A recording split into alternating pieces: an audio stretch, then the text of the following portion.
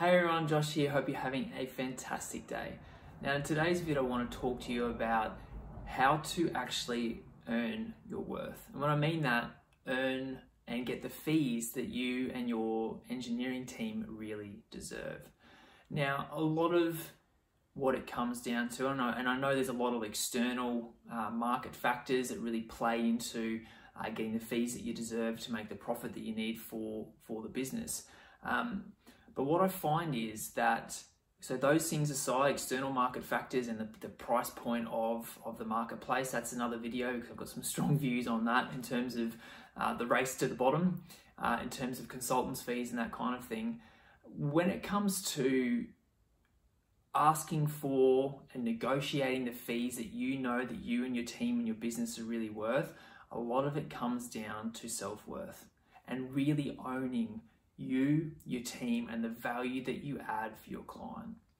Now, a lot of uh, engineers that I work with are afraid to even ask. They're afraid to even put their hand up uh, with a really well established client that they're, that they're performing really well for on, on their projects. They're afraid to even put their hand up and go, hey, uh, client, we're really hurting here. You know, we when we when we won this project we, we bid on this project, we we went in lean because that's you know that's how you do things in this marketplace. You go in lean to win a project and we've been performing really well for you on this project and we want to come and have a discussion with you uh, about fees and us getting paid more. That conversation is such a simple one but it's really really difficult as well because all these stories go through through your head about what will the client think. What if they get angry at me? What if they kick us off the project? What if they um, what if they say no so there's all these stories that run through our head before we've even taken the that, that stop us taking the action before we've even gone out there and tested, you know, how the client feels about that. So today I want to explore. There's a lot of mindset blocks that stop us from even going and asking the question. Because until you ask the question, until you put forward uh, your views and your um, circumstances to your client, how are they supposed to know? So there's a multitude of different responses you can get back from your client, um, ranging from, yeah, sure, like you guys are performing really well. We've had a look at the budgets on our project, and yeah, we can support an increase in fees because you guys are doing a really good job and you're de-risking the project for us.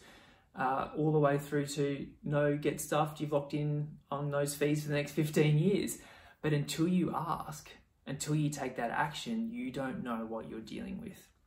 So the first hurdle to overcome is tuning in again, that self awareness piece to go, why am I not taking that action? What's stopping me from even just going and having a coffee or a conversation or pulling together a proposal for my client about getting more fees? So that's that self awareness piece about, okay, why? What's going on? What's stopping me? And if you spend 10 or 15 minutes with yourself and actually kind of look at what's blocking you, you'll actually find that there's a lot of uh, stories going on in your head that may or may not be true. But the stories are what's stopping you from taking action. And the stories are exactly what I talked about before, which are what are they going to think? Um, they might not like me. Um, uh, yeah, they might say no. They might kick us off the project. There's all these kind of stories that go through that through our head that stop us from taking the action. So today's video is really just bringing an awareness piece to you around if you are in a position where you need to, where you're not doing so well on a project and you know that you're due um, a variation or talking to your clients about fees and money in general. Um, and that's a different topic for a different day, but money in general, people have real issues with um, talking about money and talking about earning the type of money that they're really worth.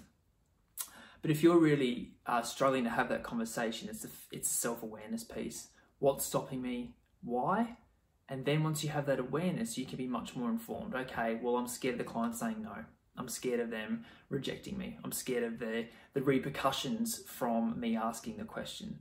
But until you ask the question, you don't know what you're dealing with. So if you are in that position, um, bit of self awareness, bit of self reflection, uh, question why you're not taking the action, and then go and take the action because until you take the action, you'll never know. Uh, I uh, hope you enjoyed today's vid. As always, reach out with any questions um, or queries about the about the video and the content, and uh, love to hear from you. Have an amazing day. Talk soon.